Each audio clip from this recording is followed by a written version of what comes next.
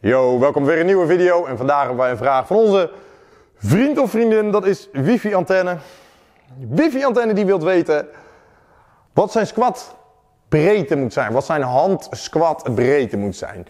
Hij geeft namelijk aan dat sommige mensen in de sportschool die pakken hem heel wijd beet. Sommige mensen die pakken hem heel smal beet. De andere mensen die pakken hem weer op de ringen beet. En iedereen geeft andere adviezen. Dus wifi antenne, wifi antenne. Dat is iets wat heel vaak gebeurt. Mensen die gaan op internet wat zoeken en die zien daar, oké, leg bijvoorbeeld je vingers op de ringen, leg je duimen op die ringen, pak hem zo smal mogelijk beet, pak hem zo wijd mogelijk beet. En dat is niet altijd correct. Ik ga je alvast aan het begin van de video ga ik je alvast het antwoord geven. En dat is, we pakken hem zo smal mogelijk beet, wat voor jou gaat.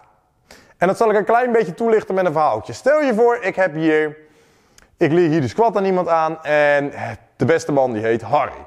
En Harry is 50 jaar, Harry is 2 meter lang, hij zal heel zijn leven straten maken.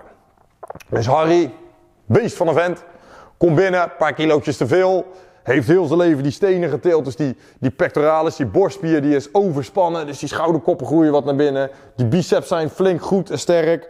Dus hij staat een beetje zo, weet je wel, die, die dikke nek en een overdreven nek. Dat is Harry. Als ik Harry nou.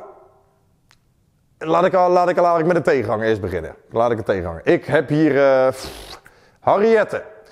En Harriette is een meisje van 18, doet al sinds de tiende doet ze al aan turnen, is super flexibel en die komt hier ook een squat aan leren. Dus als ik Harry en Harriette naast elkaar een squat aan wil leren en ik zeg, luister, we pakken hem bijvoorbeeld met je wijsvingers op de powerlift ringen of op de Olympisch ringen, net van bar, wat van bar hebt. Die pakken we beet en dan komen we eronder. Dan zal Harry waarschijnlijk zeggen, oh zo. Weet je, die staat normaal natuurlijk helemaal zo. En die moet dan in één keer onder die bar komen en die denkt, oh zo, ja, doet een beetje pijn aan de voorkant van mijn schouder. Dus, wat ik wil met Harry, die wil waarschijnlijk lekker wijd beet pakken en misschien zelfs wel de schijven die erop zitten, zo wijd. Omdat hij simpelweg niet de flexibiliteit heeft.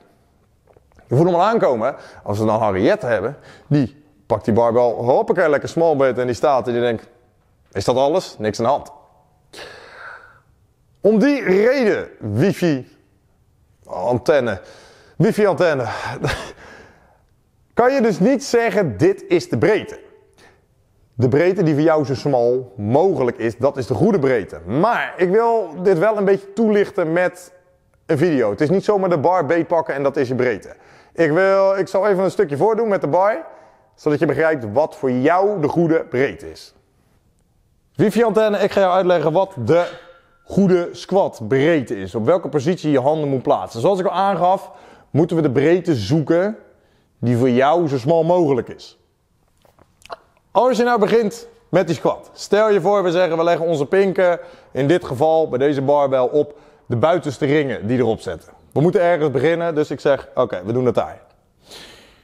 Persoonlijk leer ik de barbel squat altijd aan met de duimen over de barbel heen. Als je nou aan een powerlift wedstrijd meedoet, dan kan het verplicht zijn om je duimen om de barbel heen te doen. Let dan wel op als je dat wil doen. Ik leg hem er overheen neer, om de simpele reden dat als je een bar beetpakt en ik, kijken of jullie dat kunnen zien, ik beweeg mijn hand nu wat naar binnen, dit vind ik geen fijne lijn voor mijn polsen. Ik wil graag mijn duim eroverheen gooien, zodat, zoals je ziet, mijn hand en mijn pols in één rechte lijn zijn in plaats van die, die druk die erop komt. Dat is gewoon iets wat persoonlijke voorkeur vind ik fijner. Dus, als iemand die komt, zeg ik, we leggen die pinken op die, op die ringen neer. We komen zelf onder de bar en we gaan eens kijken hoe dit voelt. Nou, ik leg altijd een low bar positie aan. Die bar die moet hier liggen. En vanaf daar gaan we eerst de polsen rechten. Dus ik wil die polsen niet zo hebben. We tillen die barbel niet. We willen die polsen recht hebben. En zowel, zoals wat ik net voordeed, dus op twee vlakken recht. En vanaf deze positie wil ik mijn ellebogen een beetje opdraaien. Zodat die lekker stevig op mijn rug ligt. Vanaf hier ga ik vragen of je handen nog smaller naar binnen kan brengen. En of je nu dus exact hetzelfde kan doen.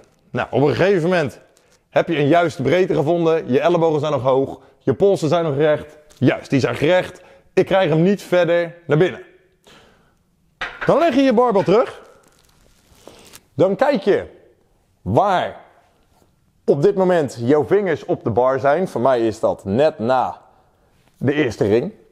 Op dat moment gaan we zeggen, oké, we doen die vingers is, we doen de handen is één vingerbreedte extra naar binnen. Dus ik had hier net mijn pink en ik ga nu één vingerbreedte extra beetpakken. Waarom doe ik dit? Als ik nu onder die bar moet komen, moet ik mezelf echt forceren in die positie. Dus ik leg mijn handen een centimeter smaller. Ik recht mijn polsen weer, kom eronder. En zoals je ziet nu, moet ik bijna het squat rack omver duwen om eronder te komen. De spieren in mijn bovenrug, in mijn polsen, in mijn ellebogen, die staan nu zo verschrikkelijk strak dat er geen mogelijkheid is voor die barbel om weg te schieten. De bovenkant van mijn lichaam is één blok staal op dat moment. Dat is één geforceerde, strakke positie. En het scheelt dus heel erg of je Harry bent of Harriet qua breedte. Dus wifi-antenne, dat is de manier hoe je een handbreedte vindt op een barbell squat. Wil je nog meer van zulke video's zien? Neem eens een kijkje op mijn kanaal. Dan kan je ook gelijk abonneren. Dit was Raymond Schultz, totenstreng.nl. Ignite your fire and grow stronger.